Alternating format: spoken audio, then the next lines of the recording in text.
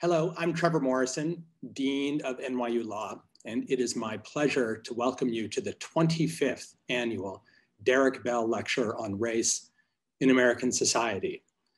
I sorely wish that I could be welcoming you in person uh, in Tishman Auditorium as we have done every other year, uh, but at least we can be gathering uh, virtually in this way still to enjoy our community um, and to learn from this year's lecturer we really are thrilled to be celebrating a quarter century of the Bell Lecture at NYU Law. The Bell Lecture is among the most highly anticipated annual lectures that we host at the law school. And it really is a special way for us to celebrate Derrick's extraordinary legacy as a teacher, as a leader in the United States. Derrick taught at many law schools during his life, but he made NYU Law his home, and we are very honored that he did. His impact on our law school and on the law and society more broadly really cannot be overstated. It was wide ranging and it was profound. His leadership as a scholar, as a teacher, as an activist helped foster critical dialogue on the progress or lack of progress of racial reform in the United States and on how to move forward on vital issues of racial justice. Derrick's sense of integrity permeated every phase of his celebrated career, from his early role as the only Black attorney among many lawyers working in the Civil Rights Division of the Justice Department to his role at the NAACP Legal Defense and Education Fund under the leadership of Thurgood Marshall. Here at NYU, Derrick taught and inspired hundreds, indeed thousands of students and others who worked with him. Uh, it is impossible to overstate his impact on our law school uh, and on our community. And thinking about his work today, we recognize its incredible importance to everything happening in the world today, in the midst of the Black Lives Matter movement, in the wake of horrific killings of George Floyd, of Breonna Taylor, and of so many others, Derrick's work is especially resonant and especially important for us to focus on now. Now, the, the, the, mission of this lecture series is to examine the role of race in American society. And for a quarter century, it has done just that, serving as an important platform for scholars and activists to share their ideas on racial justice and civil rights. And in a little while, Professor Jasmine Gonzales Rose will present this year's lecture, Race, Evidence, and Police Violence, Seeking 2020 Vision. Professor Rose will be introduced formally in a few minutes by Vincent Sutherland, the executive director of our Center on Race, Inequality, and the Law here at NYU. Uh, but I want personally to thank Professor Rose for joining us today um, and for teaching us all I'm sure we will learn from her lecture. The Center on Race and Equality in the Law itself expands and builds upon the framework that Derrick Bell left here at the law school. It's an interdisciplinary center that offers courses and serves as a resource for those whose scholarship addresses subjects related to race, ethnicity, and inequality. The center really would not have been possible without Derrick's initial vision. We build on it as we do this work here at the law school. But I also want to thank the current leadership of the center, including, as I've said, Vincent Sutherland, its executive director, and its two faculty directors, Tony Thompson and Deborah Archer. I want to thank all of them for their outstanding work and leadership on behalf of the center and the law school. And if you'll permit me, let me also note how thrilled I am that just yesterday, our faculty unanimously and enthusiastically voted a tenure track offer to Vincent Sutherland to join us as an assistant professor of clinical law. I don't want you to put too much pressure on Vincent, um, but we are very much hoping that he will join us on the faculty and continue Derrick Bell's work forward uh, through the center and otherwise in his own uh, teaching and writing. Let me also tonight thank Derrick's friends, the Geneva Crenshaw Society, as well as the NYU Law Alumni of Color Association for their support of this lecture series. Um, Now, uh, one technical matter, let me briefly cover the process for those of you who are seeking CLE credit tonight. This is an important process for how to do that, given that we are convening um, through Zoom in this virtual way. I'd like you to pay attention throughout the lecture and look out for any codes that are announced during today's events, code words. Soon after the lecture is concluded, you will receive an email link to an attorney affirmation form where you will be asked to submit the code or code words in order to confirm your uh, attendance at the lecture and to receive the CLE credit. Um, please don't leave the screen um, during the lecture because these codes can appear at any time. Um, this event is appropriate for both newly admitted and experienced attorneys and has been approved in accordance with the requirements of the New York State Continuing Legal Education Board for a maximum of one credit hour. Um, and experienced attorneys may choose to apply an aggregate of one credit hour towards the diversity, inclusion, and elimination of bias requirement or towards the professional practice requirement. Uh, newly admitted attorneys may apply one credit hour to, towards the professional practice requirement. Okay, uh, with those technicalities out of the way, uh, I would like now to introduce Derrick's widow, Dr. Janet Dewart Bell, who has been an integral member of the law school community for so many years. Janet's own professional and personal commitment to racial justice, to equal rights, to education, communication, and leadership is profound and indeed exceptional.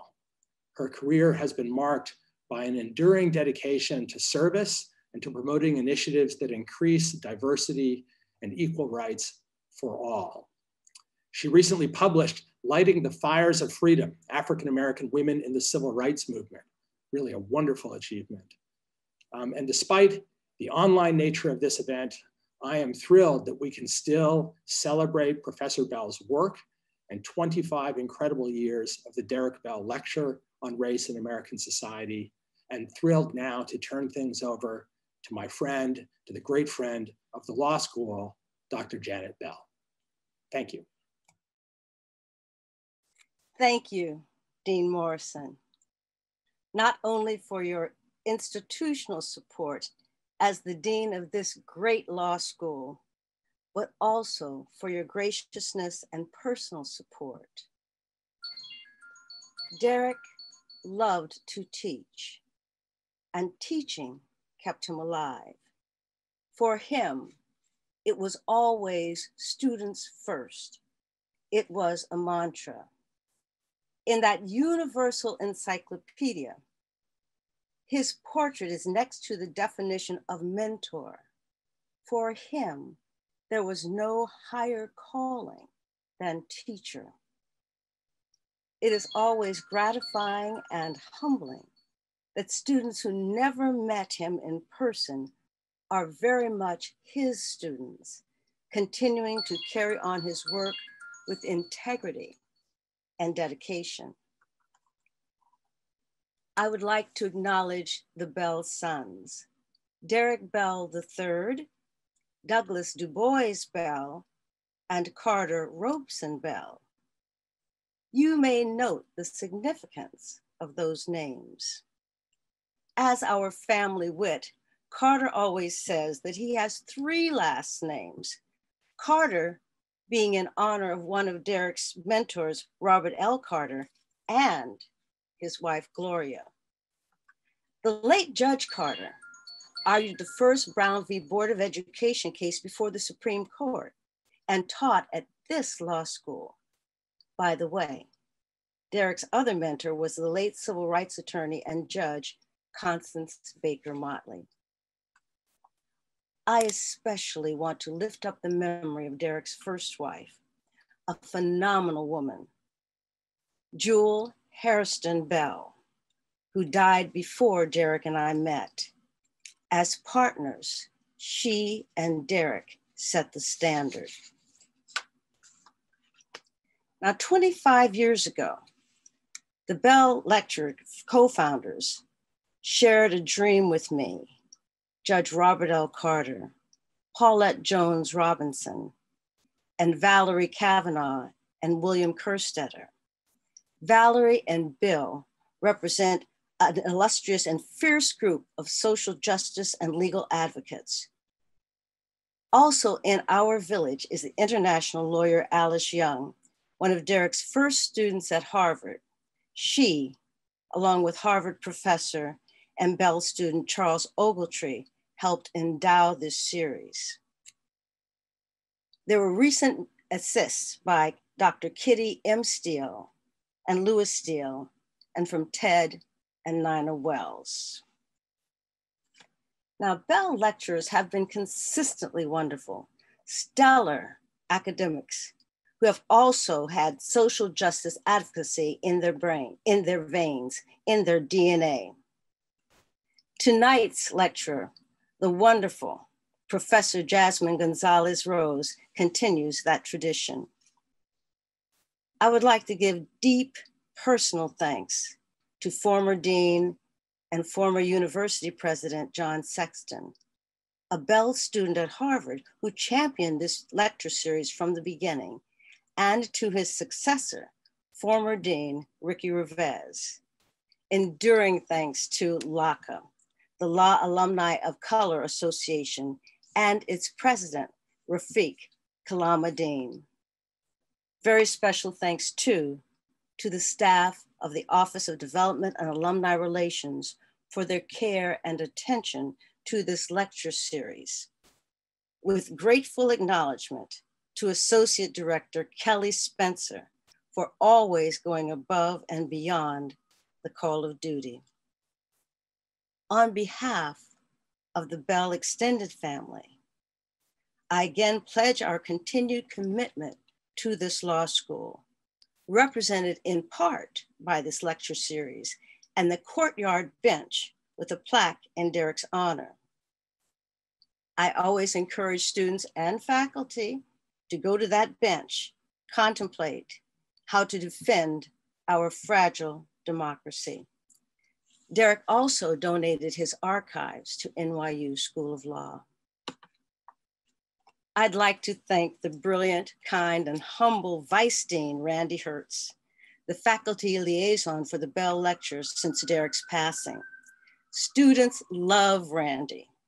As with Derrick, Randy Hertz is student focused. One might say student obsessed. He is also truly a gentleman and a scholar. Now, these lectures are seen as prophecy in these day and time.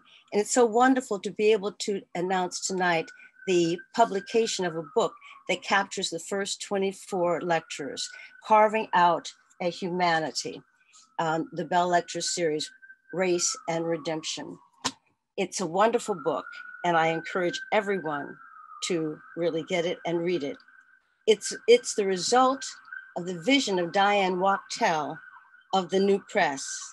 She has a publisher's zeal for a good story and a social justice advocate's heart and commitment to tackling tough issues in order to move society forward. She recognized the need for a book to gather all the lectures in one place and with tenacity and care brought it into being in time for this 25th anniversary of the Bell Lectures. Thanks too to her staff at the New Press, a publishing house, which is also a welcoming home for progressive voices. In the spirit of Derrick Bell, these lectures are not just great speeches, they represent serious scholarship about race, provocative ideas, compelling arguments, foundations for dialogue, and ideas for sustainable change. But they always are about building bridges and not walls. Special thanks to the choir of the First Presbyterian Church of Brooklyn. Every Bell program also incorporates the music Derrick loved. For this 21st, 25th anniversary of the lecture series, for what would have been Derrick's 90th birthday, the choir has produced a half hour birthday celebration concert, which premieres tonight on YouTube. Immediately following this program, simply Google FPC Brooklyn YouTube. That's for First Presbyterian Church, FPC Brooklyn YouTube. Click on videos. The program will premiere at 7:45 Eastern Time tonight. And of course, I would also like to thank Anthony Thompson, the founding faculty director, and Vincent M. Sutherland, the founding executive director of New York University School of Law's Center on Race, Inequality, and the Law, which is, well the which is where the Bell Lecture Series is now housed. I want to congratulate Victor on the announcement that Dean Morrison said early, and I know he would be a great addition to this faculty as he is to this school already. I am very pleased to be co-editor with Vincent, a skilled civil and civil rights attorney, a committed social justice advocate, and a most gracious collaborator on this book, Carving Out a Humanity. So what a what an incredibly tough act to follow. Um, first of all, thank you, Janet, for those very kind words for that introduction and to Trevor for those incredible words. Well, um, overjoyed at the prospect of joining this wonderful faculty and community in that new capacity, and and really just couldn't be more happy right now.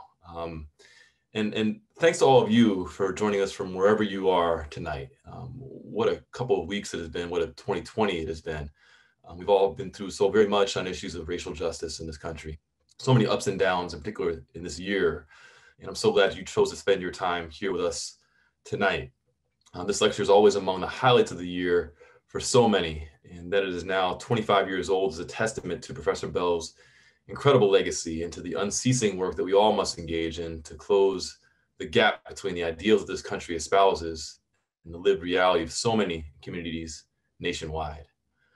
I'm proud to say that the Center on Race and Equality and the Law serves as the institutional home for this tremendous lecture series. And as Trevor mentioned, along with our faculty co-directors, Professors Deborah Archer and Tony Thompson, Center is staffed by administrator, Denisha Edwards, graduate fellow, Stephen Demarest, and a cohort of dedicated and hardworking law students um, who allow the center to engage in research, public education, and advocacy in all its forms to confront the laws, policies, and practices that really serve to oppress and marginalize people of color.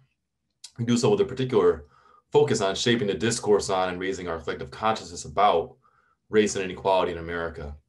Overhauling a criminal legal system that has conflated race, with criminality and confused harsh punishment with justice.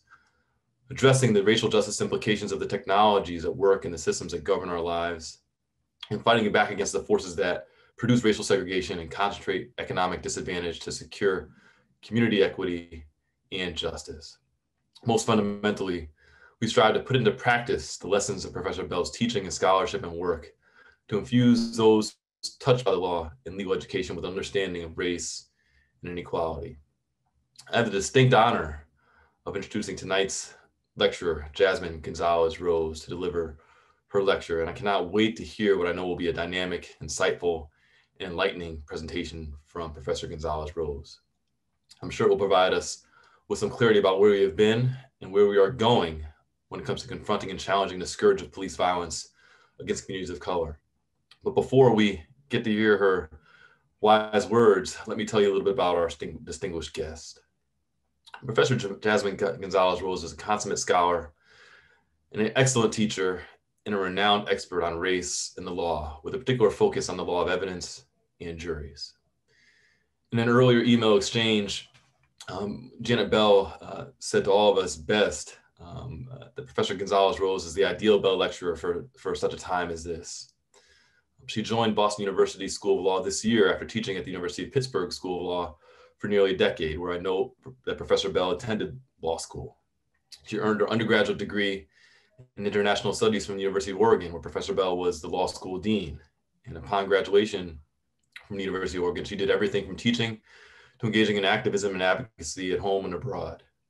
She went on to graduate from Harvard Law School, where she served as editor in chief of the Harvard Latinx Law Review and a member of the Harvard Legal Aid Bureau. An institution where Professor Bell was, of course, the first tenured Black professor on the law school faculty. The Those connections among many more make clear to me and anyone else who's paying attention to Professor Gonzales Rose and Professor Bell are indeed kindred spirits. Following graduation, she spent three years as a law clerk. First, two for the Honorable Hector Laffitte of the U.S. District Court for the District of Puerto Rico, and then for a year with the incomparable Judge Damon Keith on the U.S. Court of Appeals for the Sixth Circuit. She began a stellar career in the legal academy as a teaching fellow at California Western School of Law more than a decade ago. Over the course of that career, she's produced prolific scholarship. She's an author of a host of book chapters, is published extensively in the most respected law journals and publications nationwide. Her work, her lectures, her academic presentations, her professional accolades, her unrelenting engagement in the communities where she has worked and lived exemplify the commitment to advocacy, activism, and scholarship that are absolutely necessary to advance racial justice. And that work has been about challenging the status quo and the assumptions that flow from the systems and structures that disadvantage people of color in the halls of justice. It's been about challenging a normative frame that perpetuates racial subordination and discrimination. It's about wielding critical race theory to upend the rules of the game in order to advance transformative change in the courtroom and beyond. It's with all that in mind and that it becomes such, such a great honor to welcome Professor Gonzales Rose to deliver this year's Derrick Bell Lecture. Please join me in welcoming Professor Jasmine Gonzales Rose. Thank you so much. Thank you so much for that introduction. It is an incredible honor to be here today. And I want to thank Vincent Sutherland for this opportunity. One second while I a little technical issue here.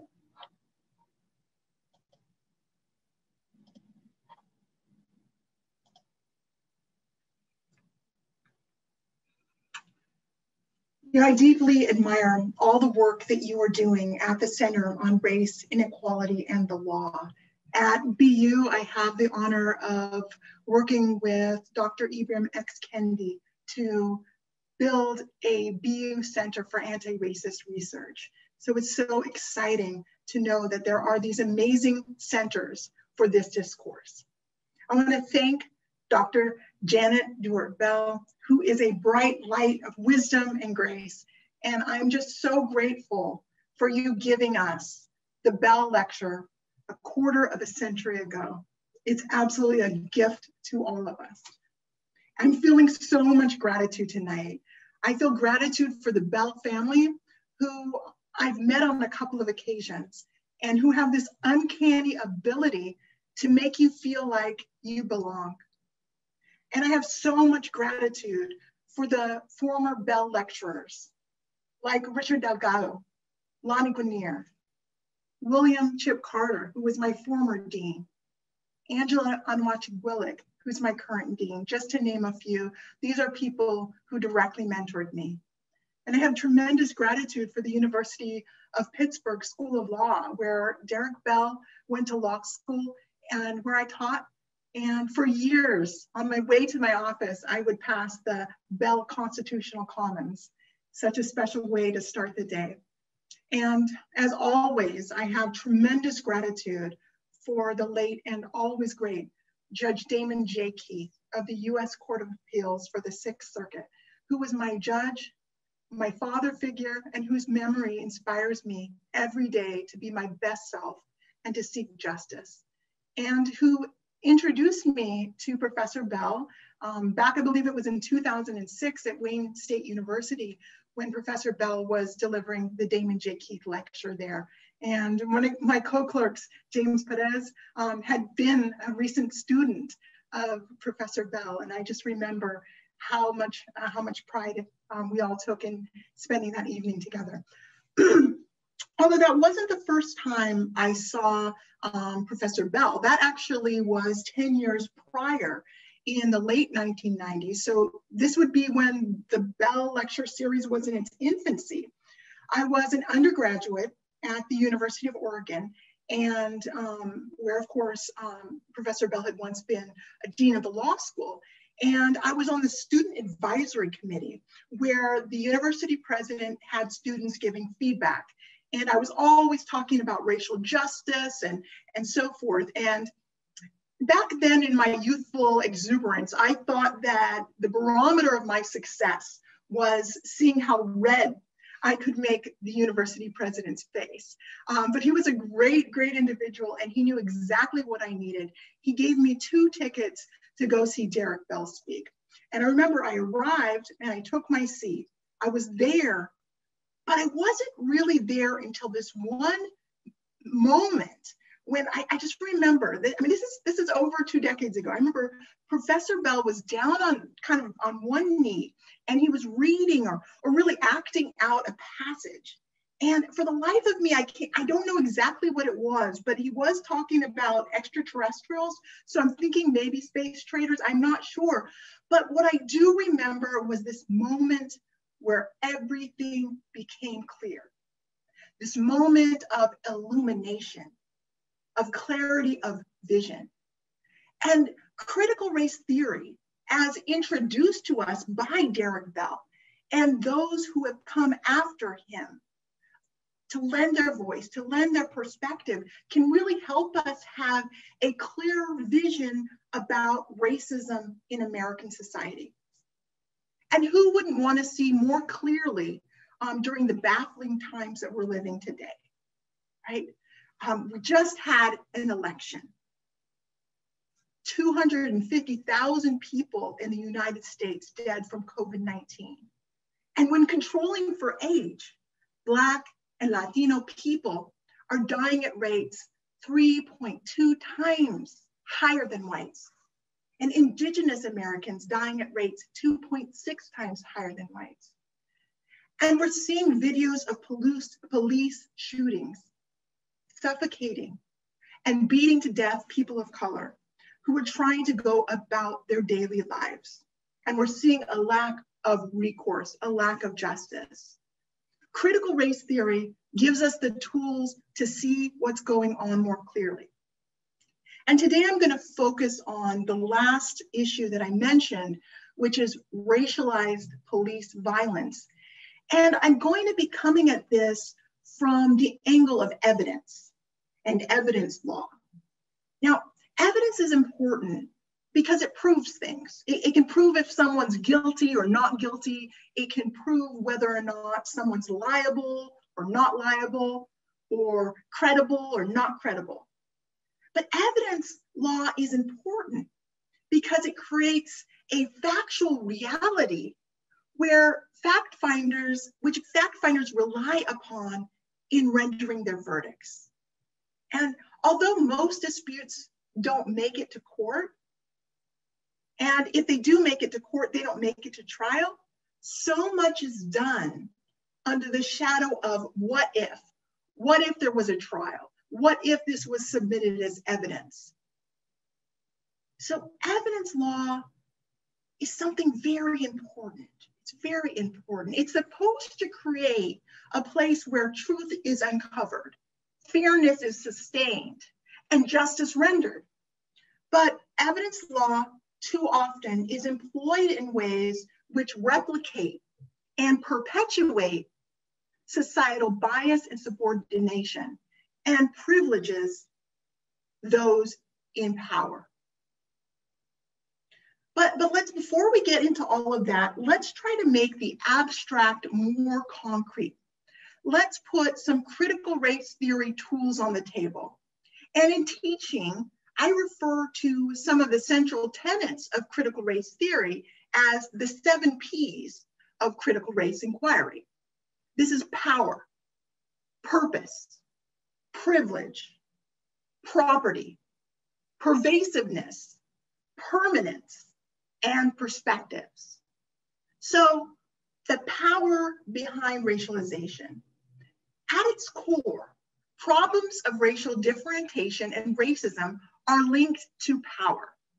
There are insiders and there are outsiders in American society and in the legal system.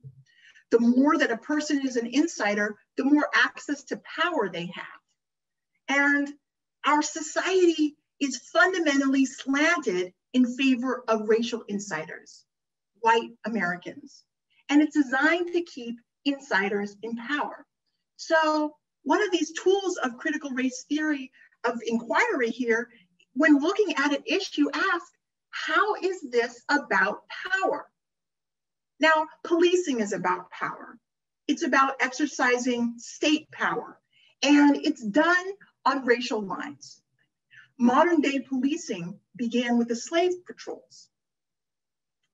Now, another tool, purpose, purpose of racism. There's a distinct purpose behind racial classifications and racism. Race is a deliberate social construct, and racialization works to uh, confer privilege on the insider group.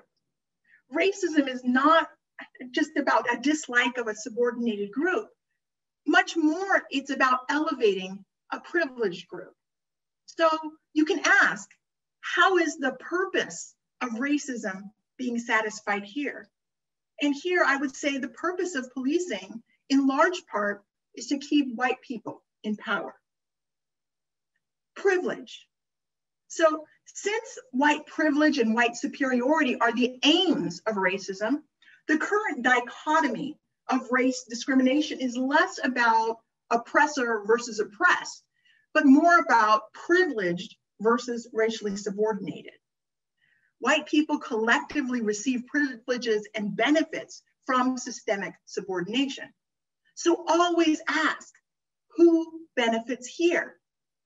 When Black people and Brown people cannot shop in a store, run, study in their school, birdwatch, sit at a, at a Starbucks, sleep in their the common area of their dorms, sleep in their very own bed without police interference or worse, they are restricted from movement, from advancement, from being able to breathe, both figuratively and literally.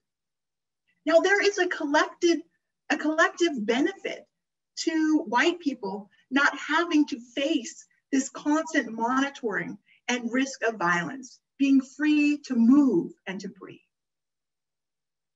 Property of whiteness. Now, whiteness is not merely a racial designation, it's a form of property. This is what Cheryl Harris taught us. The law's construction, she tells us, of whiteness um, defined and affirmed critical aspects of identity. So, who is white? Of privilege, what benefits accrue to that status, and of property, what legal entitlements arise from that status. Whiteness, she tells us, includes the idea of reputation as property. So we can always ask, how do the legal entitlements, how do legal entitlements arise from whiteness in this instance? Now, police officers who kill people of color are predominantly white because there's an overrepresentation of whites on um, police forces. And, and when they aren't, they're often um, not Black. And irrespective of the race of a police officer involved in a police killing, I would say that policing is a white institution. And so there is a lot of property of whiteness when a police officer who kills a person of color takes the stand. They're more likely to believe. Um, they're more likely to be believed than people of color who may be survivors or who may be witnesses. And there may be questions about the reputation and character of the victim. Then there's pervasiveness of racism. So the pervasiveness is the ordinariness of racism, and it's perhaps the most central principle of critical race theory, as all of these other tenets build upon this concept. Ordinariness means racism is, is the norm, not the exception. And Professor Bell taught us a lot about that. So question the narrative where racism is just done by a few bad apples or just in rare incidences. Racialized violence in policing is actually the norm. It's per a pervasive structural problem. Now, that moves on to the permanence of racism. Professor Bell observed that racism is an integral, permanent, and indestructible component of this society. He contended that, that while exterior expressions of racism might change, white society will never relinquish its investments in deep-seated racism and its attendant white privileges and benefits. He pointed to civil rights victories like Brown versus Board of Education. And he asserted that, hey, they don't indicate improvements in race relations. Rather, he said that Black people will remain disadvantaged unless whites perceive that non-discriminatory treatment will be a benefit for them. This is, of course, the famous theory of interest convergence. So ask, when faced with a scenario, ask if racism is permanent, is this solution enough? Now, despite reform of police policing over the years, Black and Brown people continue to be brutalized and killed. There is a permanence to this problem which cannot be remedied by small reforms. And as, as we reflect on the permanence of racism, let's reflect on the moment that we are in. No matter the administration in office, we must keep fighting racism because of its permanence. Now, the concept of the permanence of racism can be deflating at first. I mean, why try? Why try if there's never an end in sight? Because that's all the more reason. Medical professionals don't get up and say, you know what? People keep getting sick, so let's just throw in the towel. Rather, the more people who are sick, the more need for medical professionals.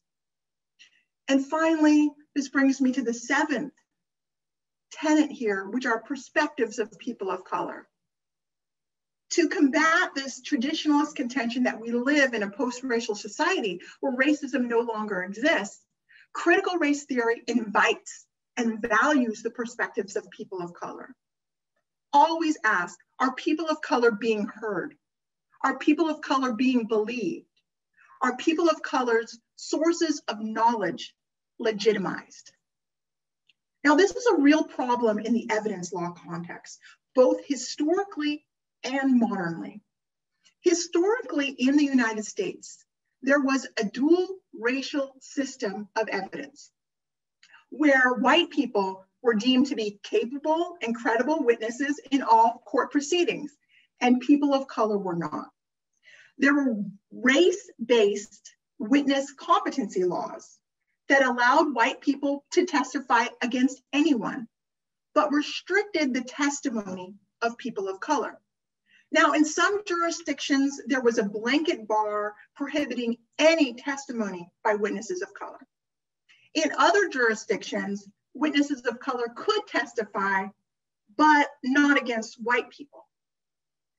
In its most extreme application, this, there were instances where white people could kill people of color with near impunity because Black, Latino, Asian, and Native American eyewitnesses were not allowed to provide evidence to identify the murderers. Now, evidence law no longer overtly grants or diminishes testimonial competence on the basis of race. However, this continues to occur in subtle, colorblind ways. Modernly, there are many instances where whites, white people are customarily deemed to be capable and credible witnesses, while people of color's testimonial competence and credibility are weakened and doubted. Now, ironically, this frequently happens in instances where Black and Brown witnesses likely have superior knowledge, but inferior knowledge about a certain sphere, such as race relations between police and, and communities of color.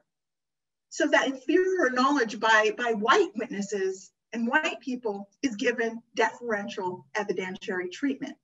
Now, there are multiple examples of this, but I'm going to focus on two related to policing tonight. So, in police killing cases, determining whether a victim of color was threatening such that deadly force was warranted, that's one example. And another example is black and brown flight from law enforcement. Now, police in the United States kill more people in a span of a few days and months than police in other countries do over years and decades. And as you know, I'm sure, victims of police violence are disproportionately people of color. Latinos are 1.15 times more likely to be killed by police. Black people, 2.5 more times. Native Americans, 2.7 times more likely to be killed um, by police than whites. Now, this is a twofold crisis. There's this high number of police killings of people of color, and there's also unaccountability for these killings in the legal system, both in the criminal legal system and in the civil legal system. And, and there's been more attention to this in the last six months. But let's be honest, Black people have always known of this crisis. As mentioned, modern day policing began with slave patrols. Racial profiling, stop and frisk, brutality has horrifically been a common occurrence in the lives of Black Americans. On average, um, police kill an unarmed Black male every nine days. Native peoples have long known of this crisis from Indian removal to FBI terror on, in Indian country. Today, Native Americans are more likely to be killed by law enforcement than any other racial or ethnic group when you compare them to the number of, um, of Native Americans who have survived in the United States. Chicanos have long known, from the Texas uh, Ranger lynchings to violence by Border Patrol and ICE. Racialized police violence is nothing new. Policing has always been a way of maintaining racial order and racial hierarchy in the United States. But something is increasingly new, which is video evidence of law enforcement officers choking, suffocating, shooting, beating the life out of community members of color. We have dash cam videos, body cam videos, surveillance cameras. Everyone has their cell phone, um, and they're capturing this. And media, especially social media, is sharing it for all to see, for, for all of us to see, and it's absolutely heartbreaking. Seeing these killings, people are enraged, and rightfully so. And so many people have taken to the street to demand justice. But despite all this abundant video evidence, justice is still rare. In some instances, video evidence might actually make justice even harder to obtain. Why is this? We're going to look into some of the um, evidence impacts here. So, so again, police killings are incredibly high in the United States roughly about a thousand people per year. So um, from 2005 to 2015, so in that decade, we can estimate maybe 10,000 killings. But there were only 54 police officers charged for shooting deaths in that time, and that was only corresponding to 49 um, victims. So only about 0.05% of all police killings result in criminal charges. prosecutors have been reluctant to initiate criminal proceedings. Um, more recently, we've seen that grand juries have been making this determination. However, the result has been largely the same. Still, police are rarely indicted for killing people. Now, this is interesting because failure to indict by a grand jury in other contexts is actually pretty rare. For instance, um, in federal grand juries, 99.99% of the time, um, federal grand juries usually vote, uh, vote um, um, they, they, usually vote for, for um, in, in, in an indictment.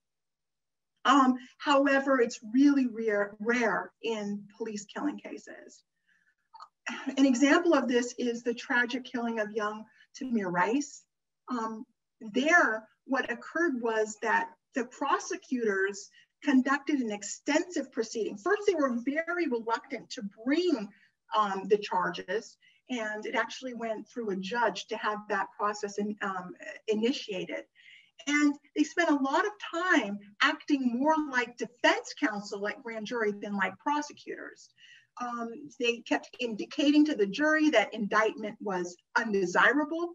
There were experts who testified that the shooting was reasonable. Um, and the experts who believed the opposite, that it was unreasonable, they were subject to hostile and aggressive examination by prosecutors, really acting more like defense counsel. And ultimately, a prosecutor, lead prosecutor, even made statements implicitly blaming 12 year old Tamir Rice for his own death. Now, in the rare case where a grand jury elects to indict, um, the excessive use of force is usually very flagrant. But even in these most egregious cases, the majority of officers are not convicted. Um, of the, that 54 um, officers who were criminally charged from 2005 to 2015, only 26 were convicted. Five of those were for the same event, and most of the trials ended in a hung jury. When there were convictions, they often were for lesser offenses. And when there was sentencing, the sentencing was lighter, significantly lighter than if the, the offender had not been a police officer. So one reason, one reason for all of this, the killings, the failure to indict, the failure to convict, is that race and racism are given evidentiary value. Now, in the United States, in the US legal system, the use of character evidence is often looked upon unfavorably. There are a lot of restrictions. Judging someone by the type of person they are, or about their past, or their propensity to act in a certain way, goes against well established Anglo American legal principle that a person should be judged based upon their conduct on a particular occasion, not on the basis of their character. Now, now there's some exception to this, of course, but when it comes to race and racism, whether it's used to devalue someone or to elevate someone, that's never appropriate. But what I call racial character evidence is too often utilized. Now, racial character evidence refers to a way a person's race is used as de facto proof of their character. It describes how race, in tandem with racial stereotypes and racial bias, is relied upon or is emphasized to establish the person's character propensity. So people um, rely upon racial character evidence to determine how a person acted in a given circumstance or if they're credible on the stand. Now, now we can we can group racial character evidence, which is never appropriate, but often overlooked into a couple of categories. One would be inherent reliance. Sometimes this is explicit, but often it goes unspoken. Another is stereotype emphasis. So that's introduction of introduction of evidence that triggers racial stereotypes. Another is opinion evidence, often from lay witnesses. Um, it may even come from jurors. And an example of it coming from jurors, and a real example to understand racial um, uh, character evidence is the 2017 Supreme Court case of Pena Rodriguez versus Colorado. There, there was a Latino man charged with attempted sexual assault and sexual harassment. Now, the defendant's defense was one of misidentification, and um, he called a Latino man as an alibi witness. Um, ultimately, the defendant, Mr. Pena Rodriguez, was convicted for a misdemeanor charge. After trial, it came out that one of the jurors, who was a former police officer, had made multiple racially biased statements. He said things like, back in jury deliberation, things like, I think he did it, the defendant, because he's Mexican and Mexican men take what they want. Mexican men are physically controlling of women because of their sense of entitlement. Um, he, this juror believed that the defendant was guilty because in his experience as a law enforcement officer, Mexican men had a certain bravado that caused them to believe they could do whatever they wanted with women.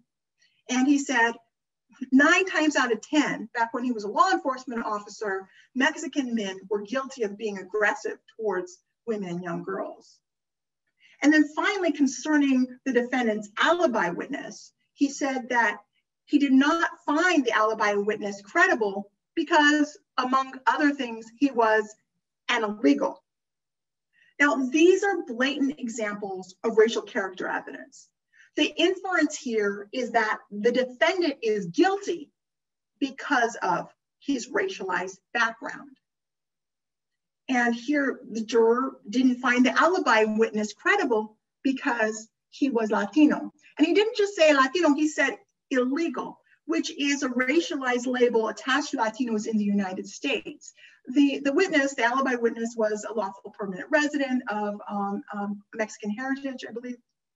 Um, but here, this illegal, this is a prevalent racist stereotype and a tolerated racial slur against Latinos. So the Supreme Court in Peña Rodriguez held that jurors could testify as to the racial bias that had occurred during deliberations. Normally, there are these juror no impeachment rules where jurors can't testify about deliberations, but here they could. And that testimony could be the basis for the court ordering a new trial. This was this ruling was made pursuant to the Sixth Amendment impartiality clause, which um, guarantees the accused, the defendant, an impartial jury. So when racial character evidence was employed against a criminal defendant, we had the Peña Rodriguez case.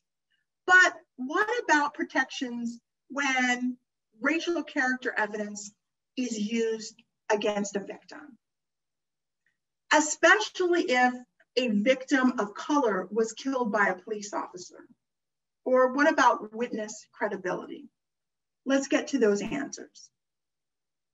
Um, but first, I was asked to share the CLE code for those seeking CLE credit for today's lecture. That code is 25 Bell 2020. Again, it's 25 Bell 2020.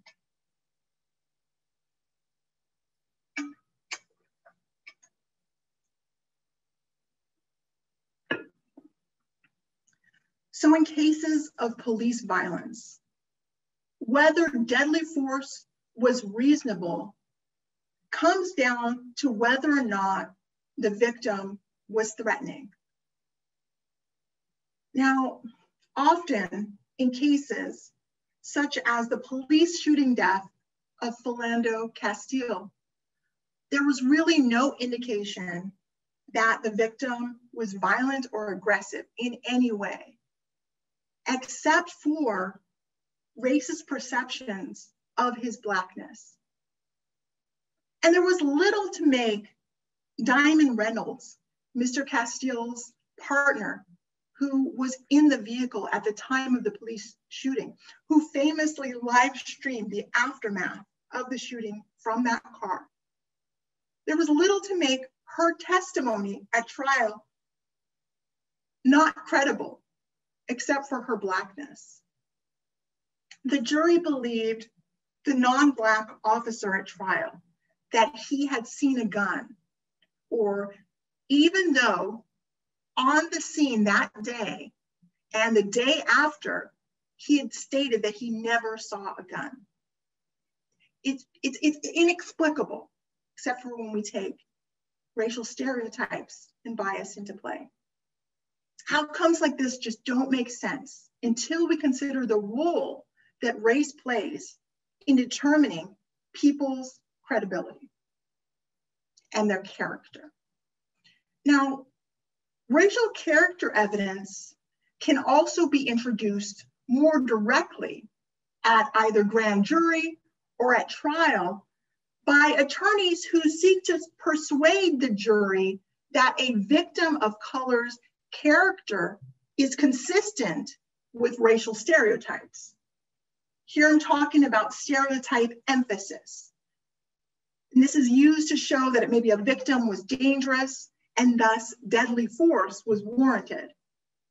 Instead of focusing on the facts of what occurred in the incident between the police officer and the community member of color, prosecutors who begrudgingly pursue criminal charges, so those who don't want to be there in the first place, and at trial, defense counsel um, may subtly try, or not so subtly, show that the victim was stereotypically Black or Brown to try to fan the flames of racist beliefs that people of color are dangerous and threatening.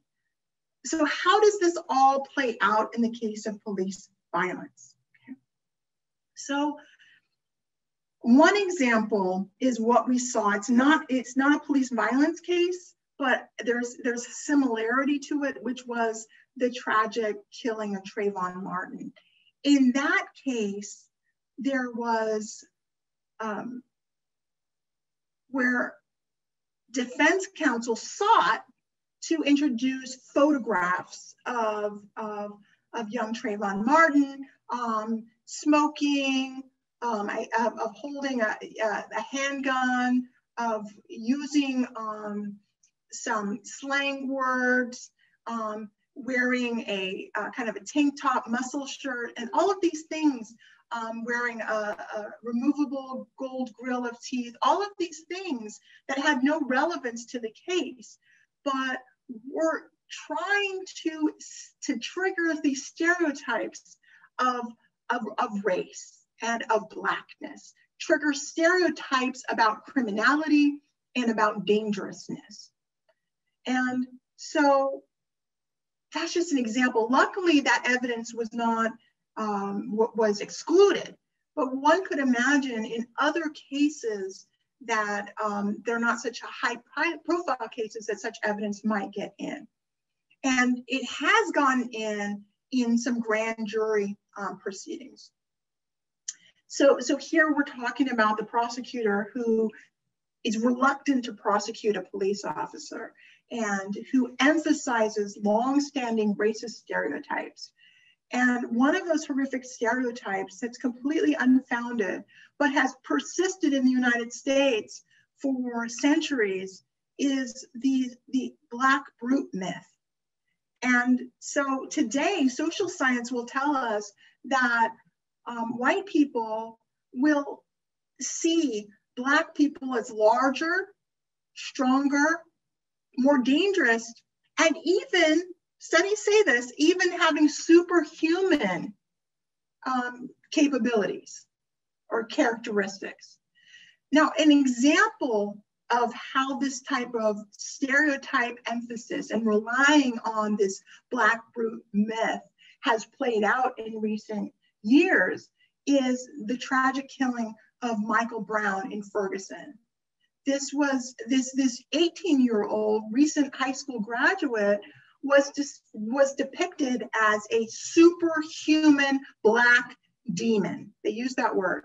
Who instead of being stopped by bullets coming into his body like the terminator he, he became more angry and more aggressive. This is what what the testimony was elicited by the prosecutor and, and by the grand jury. And this required as, as the, the, the officer um, conveyed, that it required more rounds of ammunition. The officer reported feeling like a five-year-old child holding on to Hulk Hogan. So here, eliciting all of the years, the centuries of this myth, right? this myth, this racist myth, to to to get the the, the jurors to not return an indictment, to not return a, a true bill. So we've talked about the criminal justice or criminal injustice system, but the civil justice system actually mirrors this lack of accountability. In civil rights cases seeking redress for police violence, and we're seeing the lack of justice in the criminal sphere So the civil sphere and bringing a Section 1983 civil rights action, you know, surviving family members acting as you know, the kind of private attorney generals is really necessary. It's really valuable. However, officers often seek to be shielded by qualified immunity. And qualified immunity insulates them from defending the claim for damages. Now, qualified immunity is supposed to be granted only where the right asserted by the plaintiff was not clearly established at the time of the challenged conduct. However, too often, deadly force against community members of color is considered reasonable. And this issue of qualified immunity often occurs on, you know, arises on summary judgment.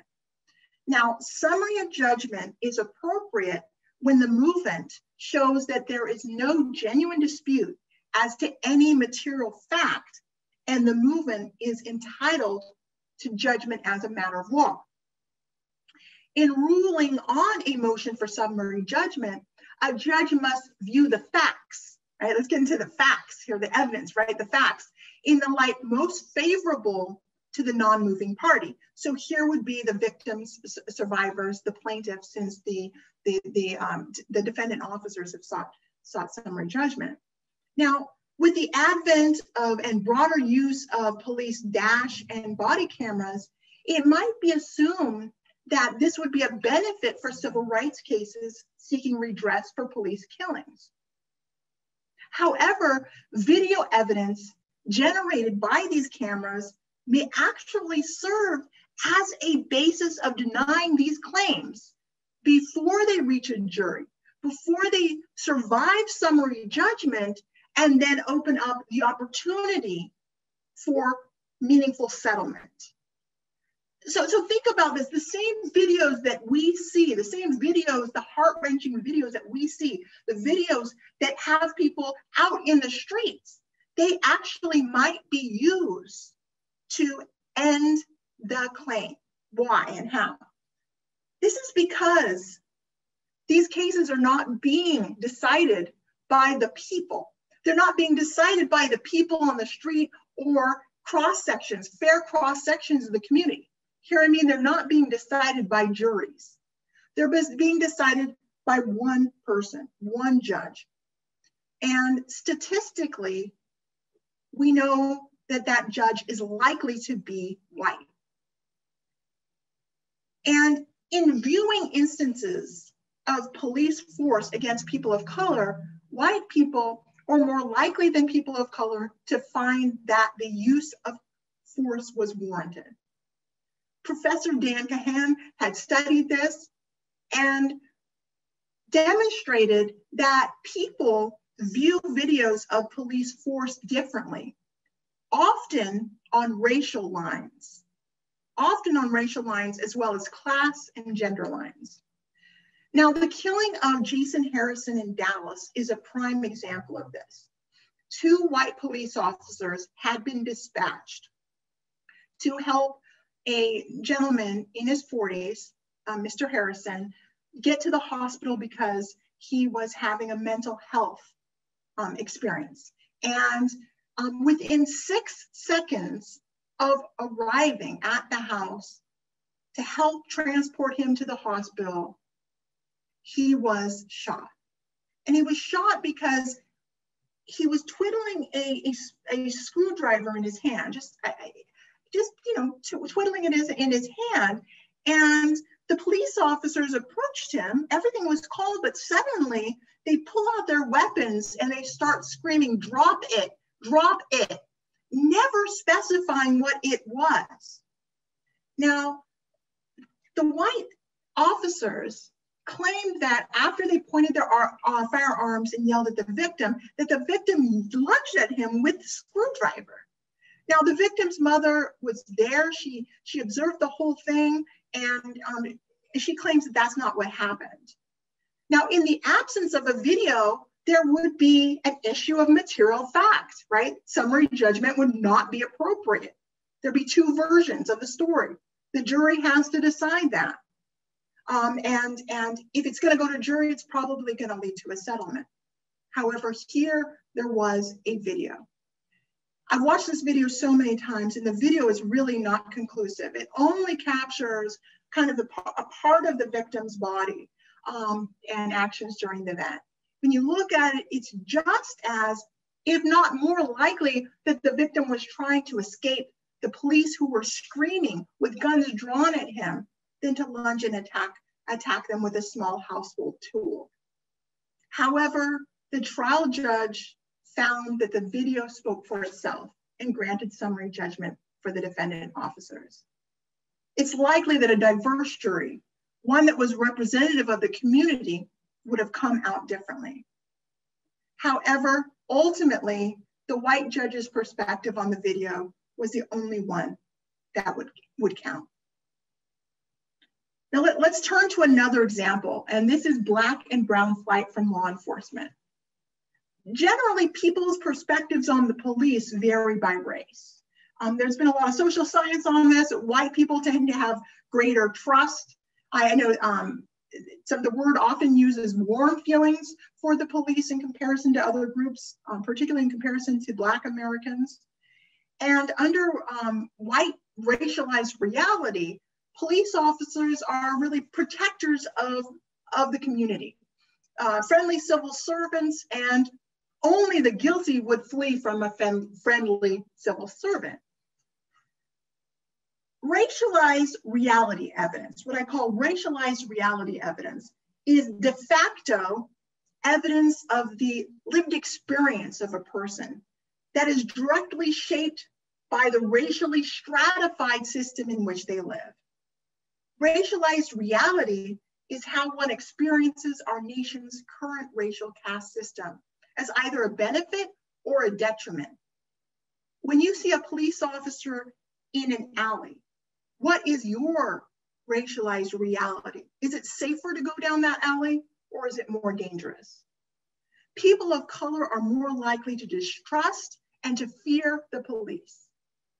And as the uh, uh, Supreme Judicial Court uh, here in, in Massachusetts, where I'm standing right now, in a case of a Commonwealth versus Warren, um, found especially Black men may flee law enforcement to avoid racial profiling, police brutality, and even death. The lived reality of generations of Black Americans is that law enforcement should be avoided, should be avoided for safety. Now, unlike most white people who don't have knowledge about the relationship between people of color and police, many Black people have vast evidence-based knowledge of how police officers treat Black people. However, the white norm that only the guilty fleeth is given precedence. In critical evidence terms, I call this implicit judicial notice. It's given, it's argued to the jury without any evidentiary introduction. While the black and brown experience is subject to the full rigors of evidentiary analysis. White experiences with and beliefs about the police and policing is accepted as the established norm, as the indisputable reality, without any need to call a witness. On the other hand, if, if a party wants the jury to consider, um, you know, this, this widespread perspective of police, uh, people of color that uh, uh, about police and policing, uh, and why people may avoid the police or even run from the police, they'd have to call a witness, right? They'd have to call a witness. Um, people of color themselves should be able to testify as lay witnesses. However, too often, Black and Brown witnesses are subjected to testimonial quieting. This is when listeners, when the audience doesn't recognize the speaker as a knower. So lay opinion testimony could likely be, be deemed insufficient. So proof of this lived experience might have to require expert testimony evidence. Now, expert testimony is often very cost prohibitive, usually in the range of $400 an hour. Moreover, expert witnesses are disproportionately white persons because of the underrepresentations of people of color in higher education. So we get to this scenario where the black and brown experience to be proven has to be proven through maybe a white voice or at least an elite voice at significant financial ex expense. This is just one example that demonstrates an imbalance in evidentiary burdens placed on people of color. And I feel like it's, it's eerily reminiscent of 19th century race-based witness competency rules. And this is why we're so grateful for the work of Derrick Bell and the generations of critical race theorists who rose up with him and after him. Critical race theory not only deconstructs racism, it theorizes Black and Brown struggles. It conceptualizes, it provides terminology, visibility to lived experiences. It reveals truth.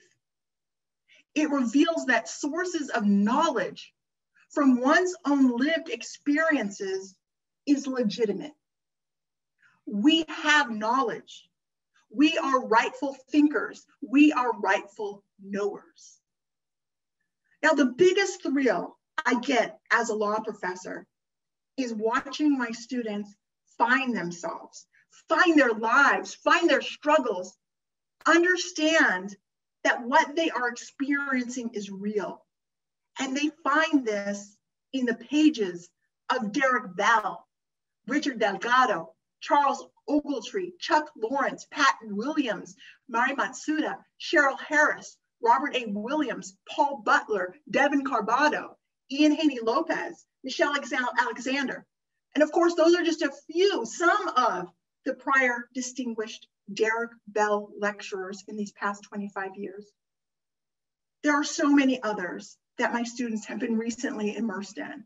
Um, in the last weeks, my, my students have been benefiting so much from the amazing works of Kevin Johnson, Juan Perea, Laura Gomez, my colleague, Ibram Kendi.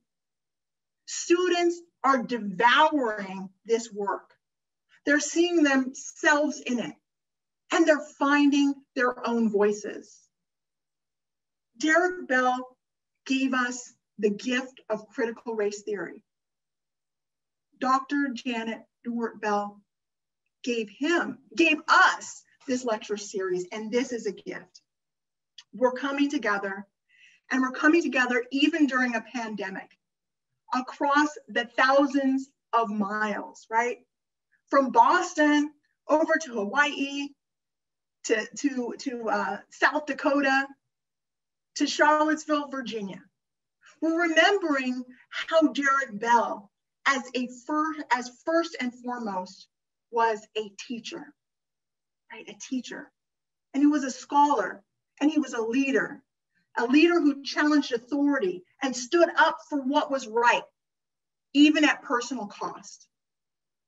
We get to learn from him either directly some of us were students i wasn't i wasn't a direct uh, student except for those moments in those lectures but um, through his work and through the people who rose up in discourse sometimes in constructive disagreement with him and those who came after him he has touched all of our lives and i wish so badly that we could all be together right now in person but we are together. We're together in energy.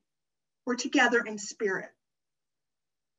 And as we close here, as I close here, I know we'll have other remarks. Let's just feel this. Let's feel how we are con connected through the work of Derrick Bell and through the work that he inspired. We are not alone. We are together in this struggle for racial equity and for justice. And we can all contribute in our ways. Let's commit tonight. Let's recommit to this new era before us. That we need to continue to do this. Thank you so much for sharing this evening with me. I'm incredibly honored and humbled to be able to be with you. I'll now turn it over to Vincent Southerland for comments. And congratu congratulations, Vincent, on the amazing office, um, offer you received. Thank you. Thank you so much, uh, Professor Gonzales Rose, um, for those truly phenomenal remarks. Um, your lecture was informative, it was powerful, it was moving, it was thoughtful in all the right ways. And I, I can't emphasize how grateful I am for you giving us so much to think about um, as, as we move forward with the work that is so critically important to uh, this country um, and, and really the world. Um, I want to thank all of you as well for attending this year's lecture. And before we part ways, I just want to close out with a couple of quick housekeeping matters. Um, first, for those attendees who are seeking CLE credit, please complete the attorney affirmation form no later than this coming Monday, November 16th. Um, now, don't worry, you'll be receiving this form in a follow-up email directly after the close of this webinar. Um, this event will also be available on the law school's YouTube channel in a couple weeks. So for those of you who uh, know someone who unfortunately missed out on tonight's lecture, they'll have an opportunity to see exactly what they missed. And finally, just a few thank yous. Um, uh, I want to thank the incredible faculty, staff, and students at, at NYU School of Law. Uh, it's such a wonderful community and is truly comprised of the absolute best of the best. Um, I also want to thank Associate Director Kelly Spencer and the staff of the Office of Development and Alumni Relations, including Joseph Pellicone and Joe Rivera for all the incredible work they've done to make this happen, along with all of Kelly's colleagues at that, at that office. I want to thank Janet Dewart Bell um, for, of course, having the the the, the wise uh, uh, guidance and thoughts to, to make all this possible to begin with. Um, uh, and to all of our past Derrick Bell lectures, whose lectures can be found all in one place uh, now uh, in the book Carving Out a Humanity, published by the New Press, another uh, wonderful publishing house that we need to thank. Available everywhere the books are sold on November 24th. It's truly an invaluable look back at where we've been and provides so much thought, food for thought about where we need to go um, in the days and years ahead. Last, certainly not, but not least, thanks to all of you for attending and continuing to support this wonderful lecture, including the Geneva Crenshaw Society, uh, LACA, uh, students, colleagues, friends, and supporters of Professor Bell. And just to echo some of the sentiments that Professor Jas Jasmine Gonzales Rose left us with, maybe you'll all be physically distant in, in this virtual space, but uh, I want to tell you that your presence and energy was certainly felt uh, throughout this evening. Um, and just allow me to leave you with a brief request, uh, echoing what our lecturer just imparted to us. Take good care of each other. Um, tell someone that you care about how much they mean to you and continue the work that we all need to do um, to continue to, to close the gap between the reality we see in the world around us and the ideals um, that this country uh, espouses. And until next time, uh, be well and take care of one another. Uh, look forward to seeing you hopefully in person at this time next year uh, for the 26th annual Derrick Bell Lecture on Race in American Society. Thank you and have a wonderful evening.